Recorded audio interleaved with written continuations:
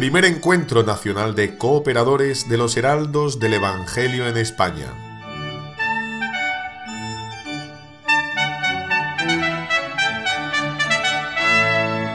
En los días 22, 23 y 24 de febrero se realizó el primer encuentro nacional de cooperadores de los heraldos del Evangelio en España. Este primer encuentro contó con más de 120 apuntados, además de los que fueron llegando a última hora. De todos los cuadrantes de España, acudieron nuestros terciarios para participar de ese congreso, que Dios mediante será el primero de muchos. El primer día empezó con la coronación de la imagen del Inmaculado Corazón de María, seguida por una solemne misa celebrada por el padre Michael Carson, encargado del Centro Juvenil de los Heraldos del Evangelio en Madrid. El coro de los Heraldos del Evangelio solemnizó la Santa Misa. Al final de la celebración, escuchamos algunos testimonios de cooperadores de los Heraldos que trabajan más directamente en algunas actividades de evangelización y apostolado, los cuales nos contaron sus experiencias y gracias en las diversas actividades a las cuales tuvieron la alegría de participar, como las misiones marianas, visitas a hospitales, curso de consagración y todo eso en diversas provincias de España como Granada, Valencia, Madrid, Huelva y otras muchas. Entre un testimonio y otro, el conjunto musical de los Heraldos ejecutó algunas músicas para amenizar el acto, Terminados los testimonios, compartimos un vino español, lo que nos proporcionó una excelente ocasión para poder conocernos, pues la familia de los heraldos del Evangelio, gracias a Dios, va creciendo rápidamente y a veces no conseguimos conocer a todos los cooperadores que van entrando para la familia en la gran nación española.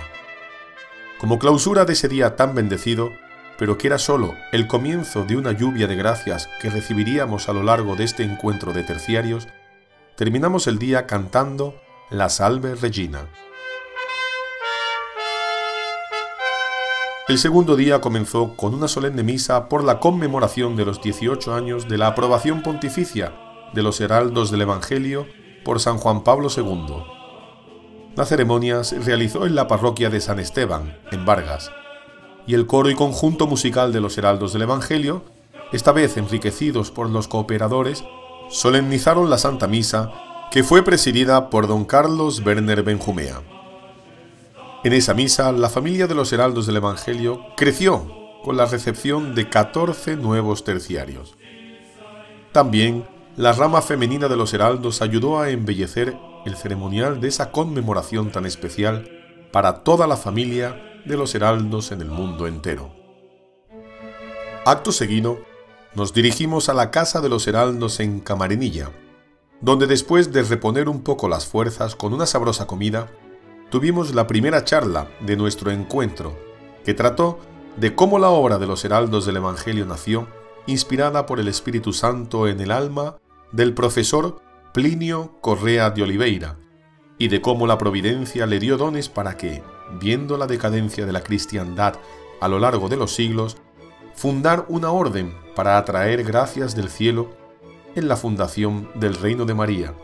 y de cómo es bonito que aquella antorcha de fe que Europa llevó a América, ahora, por designio de la providencia, vuelve de América para otra vez encender la hoguera de amor de Dios que otrora ardió en el viejo continente.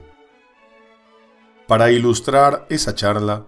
algunos cooperadores realizaron una obra de teatro que captó la atención y el interés de todos los presentes. Una escena común en un hospital, que hacía un paralelo con la Europa enferma y sin fe de los días de hoy, y que debe agradecer y colaborar con los que le ayudan a recuperar la sana vida espiritual que antaño tuvo. En los círculos de estudios pudimos cambiar algunas ideas repasar los temas que fueron dados en las charlas y preparar preguntas para el encuentro del día siguiente. Después de la reserva y bendición del Santísimo Sacramento, que estuvo expuesto para un rato de adoración, nos dirigimos a la cena en la cual conmemoramos el cumpleaños de dos de nuestras terciarias. Una de ellas fue recibida como tal el mismo día.